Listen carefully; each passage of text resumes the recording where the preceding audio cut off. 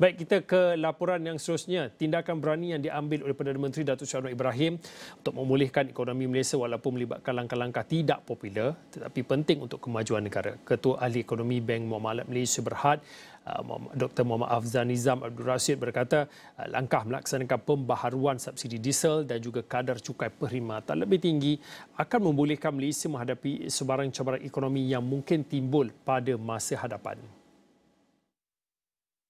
Muhammad Afzanizam menyatakan langkah-langkah pembaharuan itu mendapat sambutan baik daripada pelbagai pihak berkepentingan terutamanya daripada pasaran kewangan yang diterjemahkan kepada prestasi lebih baik bagi ringgit dan pasaran equity.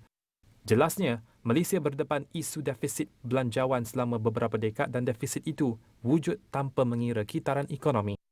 Muhammad Afzanizam berpendapat strategi pentadbiran semasa juga akan menarik minat pelabur asing terutamanya kerana kedudukan kewangannya lebih kukuh dan menghasilkan skor kredit yang lebih tinggi.